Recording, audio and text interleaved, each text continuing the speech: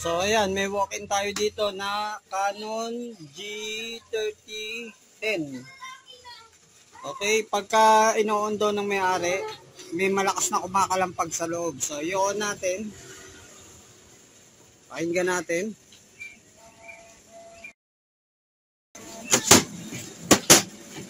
Oo nga.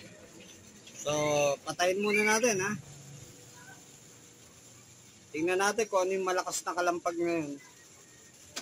So, angat natin siya. Re-on uli natin.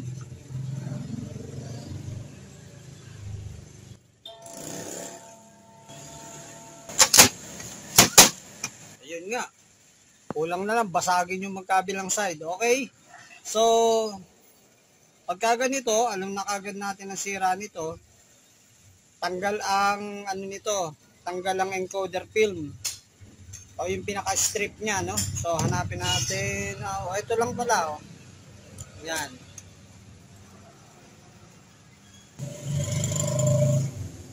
Umipit na siya. Hindi na rin ito magagamit kasi ano na eh. Yan, oh. Masyado na siyang marumi. So, obligado yung may-ari na bumili ng bago nito bago natin ikakabit. So, eto, natanggal na natin siya, no? Ang umipit kasi dyan, yan, yan ang umipit dun eh, yun. Yung maliit na spring na yun, yun, yung spring siya. Pero ito kasi, dapat dyan, kung mapapansin nyo, dapat transparent yan. Ng ganyan, no? Medyo, medyo uh, may pagka-gray ng konti. Pero sa parting to, ayan, no? Sa parting yan, may ink. So, ang magiging problema niya dito, maikabit man natin to, pag naikabit natin, mawawala na yung kalampag.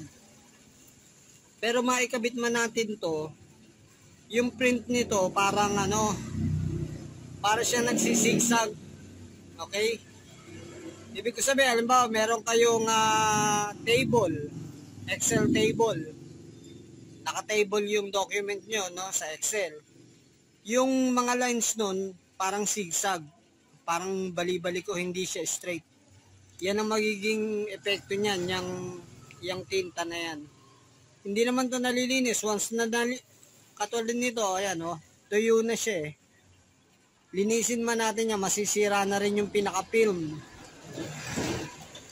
Ito kasi, yung harapan na yan, yung glossy plastic yan. Pero yung likod niyan, film.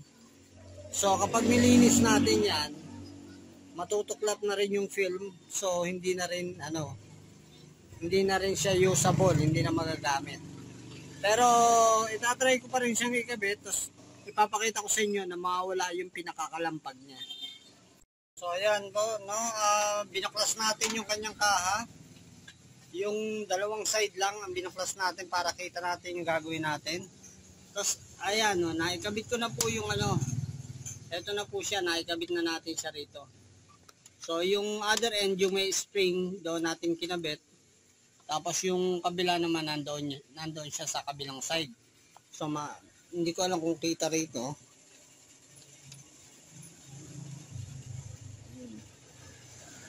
Ayan.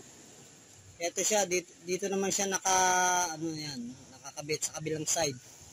So, yung isang haba na yun, yung kabila dito. Tapos yung may spring, yung may spring ngayon, nandyan sa kabila. So ngayon, ipapower on natin siya. Tingnan natin kung kakalampag pa rin siya ng malakas.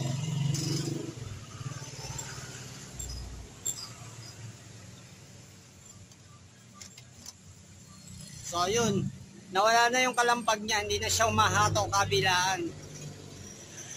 Okay.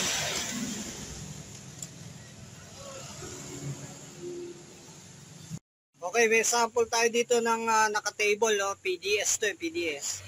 So, ang gagawin natin dito, itatry natin, uh, isa-xerox natin to yung table. So, may bond paper na siya rito.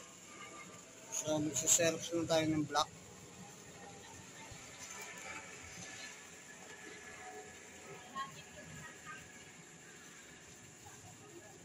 Tingnan natin kung straight yung line niya. O may gaps.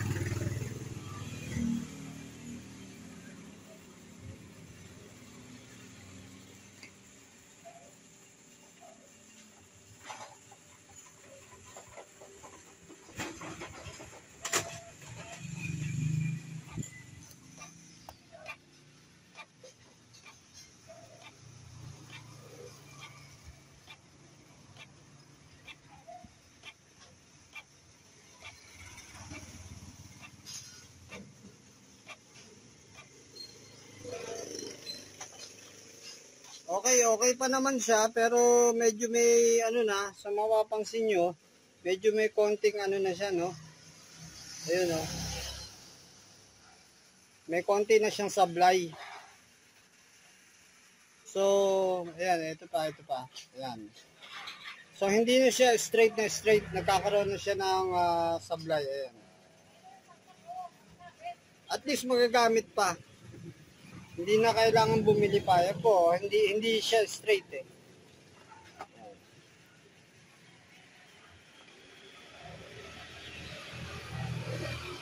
At least magagamit pa niya at wala na yung ah, kalampag na malakas na ano na di, nung dinala niya kanina dito humahataw magkabila yung yung ink carriage humahataw magkabila kasi nga ah, natanggal yung kanyang ah, strip natanggal yung kanyang encoder yung encoding slip ah strip. Yan yan natanggal yan. So kinabit lang natin yan and good na uli. Magagamit na uli niya yung kanyang printer. So ito po si Hernan ng ah, MIT SPH maraming salamat po. Sana may natutunan kayo dito sa kapirasong video na to